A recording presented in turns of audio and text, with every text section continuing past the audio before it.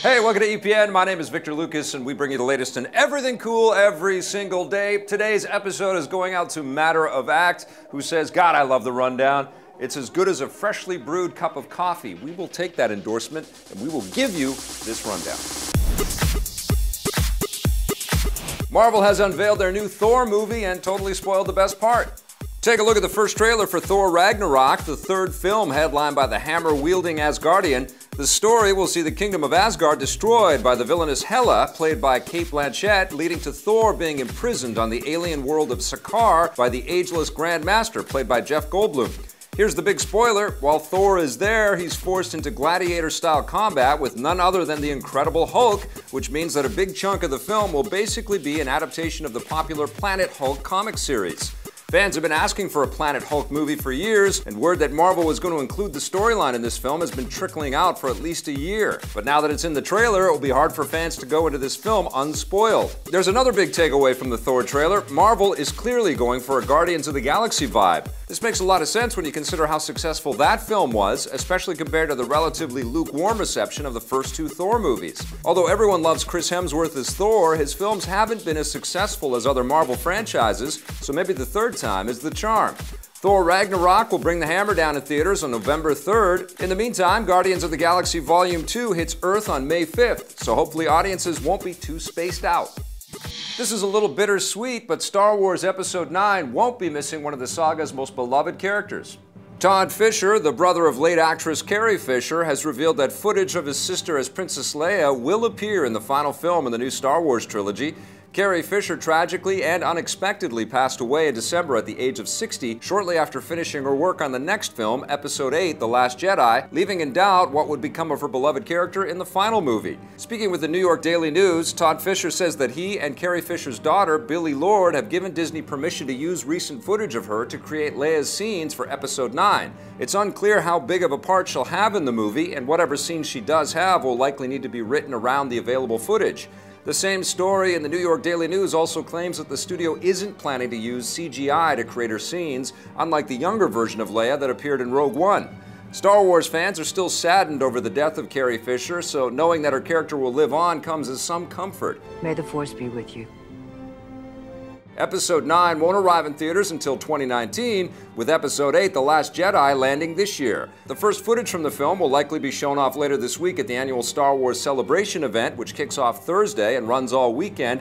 Expect new details about other upcoming Star Wars projects like the Han Solo spin off movie and the next season of Rebels as well. Since this is the 40th anniversary of the original Star Wars movie, we've got our fingers crossed that Disney will finally announce the long rumored restoration of the original versions of the first three films. The only versions that are officially available in any decent quality are the altered cuts with extra scenes and CGI enhancements, so purists have been holding out hope for a proper restoration of the real versions of the movies. Yes, I bet you have. We'll let you know what Disney announces. As you wish.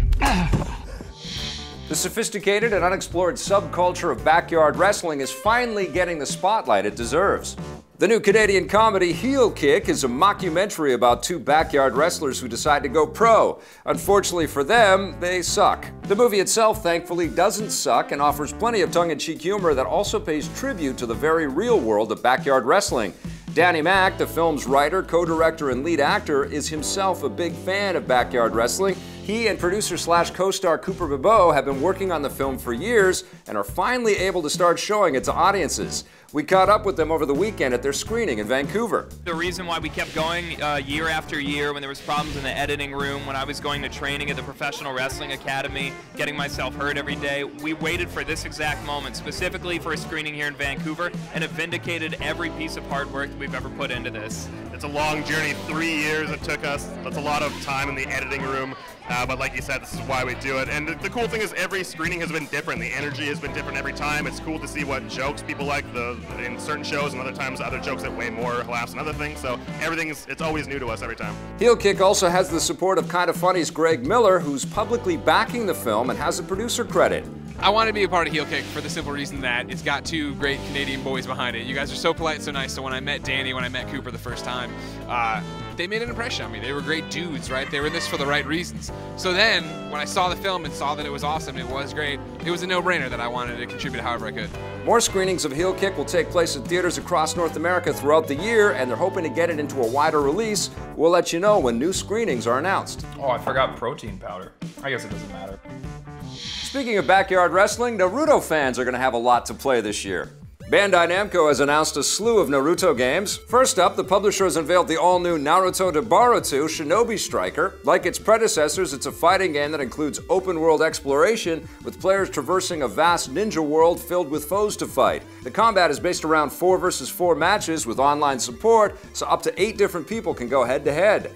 That arrives later this year on the PS4, Xbox One, and PC. Also arriving this year is the remastered Naruto Shippuden Ultimate Ninja Storm Legacy Collection, featuring all four games in the Ultimate Ninja Storm series. The first three games were originally released on last-gen systems, so they're being enhanced for current-gen. The fourth game in the set, Ultimate Ninja Storm 4, is already available on current-gen, so to make fans want it again, Namco Bandai is including its recent expansion, Road to Boruto, which has never been released in the West before. Namco Bandai says that it will make the perfect gift for a Naruto fan, so it will probably be released closer to the holiday shopping season. The invisible hand of the marketplace is coming to the vast world of Minecraft. Microsoft and their subsidiary Mojang have announced the Minecraft Marketplace, a new in-game store that will allow users to buy skins, texture packs, maps, and other virtual items made by Microsoft and third-party developers without leaving the game. There's long been an official Minecraft store, but it only offers first-party items made by Mojang, so the new marketplace will offer both first-party and third-party items together in one place for the first time. The developers hope this will make it much more convenient for Minecraft fans to buy new stuff, which will probably lead to a lot more sales. It will start with just content from Microsoft and official third-party partners, with the plan to eventually make it possible for anyone to sell items from the store, with Microsoft taking a commission, of course. The Minecraft Marketplace will launch later this spring for the Windows 10 and Pocket versions of the game. Here's the best part, user-created mods will still be free, so Microsoft isn't going to start making you pay for those. I'd be willing to spend a night in a haunted house, but only if it had decent Wi-Fi. Variety reports that Netflix is in the early stages of developing a series based on the 1959 horror novel The Haunting of Hill House. It tells the story of four people trapped inside a haunted mansion, and the book has already been turned into a movie twice. The Netflix series is being developed by filmmaker Mike Flanagan, who helmed the well-received 2013 ghost movie Oculus. Netflix has had mixed success with the horror genre. Last year's Stranger Things was easily one of their most popular original shows, while the gory Hemlock Grove wasn't as well received and was canceled after three seasons. No release window yet for the new Haunting of Hill House. Last year, Netflix announced their intentions to drastically increase their output of original shows, so don't expect them to slow down anytime soon.